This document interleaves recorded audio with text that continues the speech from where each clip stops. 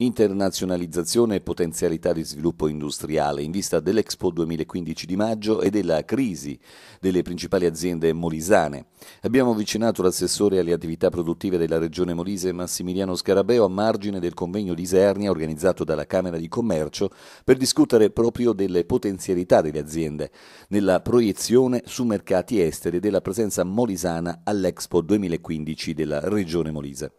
Allora, Assessore Scarabeo, si parla di internazionalizzazione oggi per esorcizzare la crisi delle note aziende molisane in difficoltà. L'impegno, vediamo che del suo assessorato è costante e quotidiano nell'affrontare le principali criticità. Eh, si può guardare al futuro con moderato ottimismo oggi?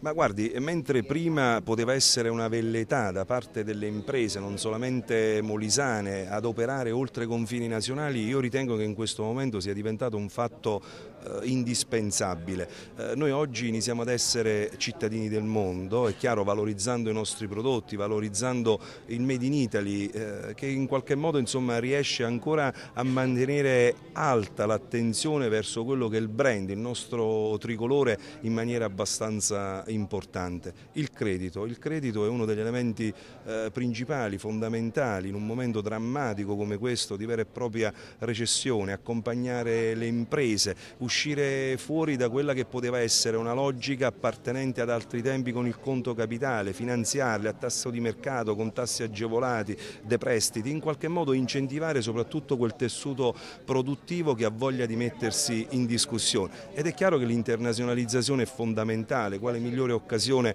come l'Expo 2015, aver già rappostato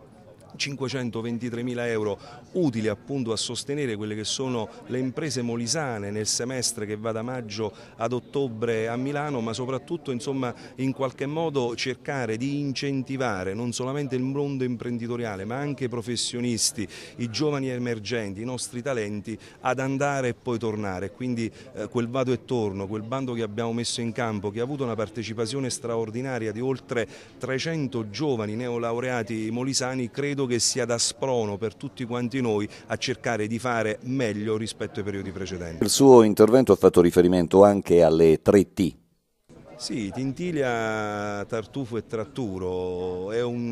fuorisalone, un fuorisalone che abbiamo voluto finanziare interamente con risorse regionali pari a 100.000 euro. Credo che ci sia un'opportunità, un'opportunità da sfruttare anche al di fuori proprio dell'Expo, quindi eh, in quella che è la metropoli, la nostra eh, Milano, centro e core business eh, non solamente italiano ma anche del centro Europa, una centralità che porterà oltre 20 milioni di visitatori. Lei ha detto che in questi giorni sta facendo un po' da procacciatore d'affari per risolvere un po' le crisi, soprattutto quelle del tessile in provincia di Isernia.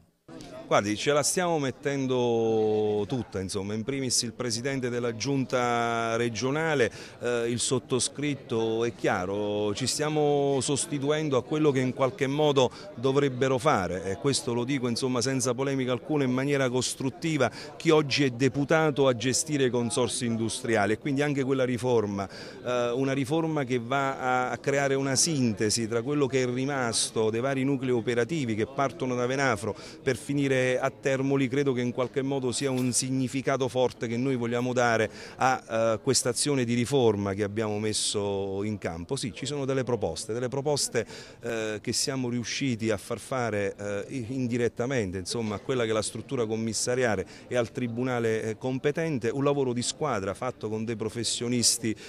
molisani e quindi ci siamo ritrovati con ehm, tre gruppi solidi di due investitori importanti grandi come i KF Europa Investment e con il gruppo Ammaturo. Abbiamo altri tipi di eh, investitori e contatti eh, disponibili a venire eh, nella nostra provincia, nell'agro eh, di Pettoranello presso i rustici modulari. Mi auguro che finalmente ci sia la sottoscrizione eh, di un primo rapporto di collaborazione diretta dell'imprenditore di riferimento con il comune di Pettoranello e successivamente concretizzare qualcosa nell'agro di Sessano. Noi ce la stiamo mettendo tutta, eh, stiamo andando anche oltre quelle che possono essere le competenze e sono sicuro che ce la faremo.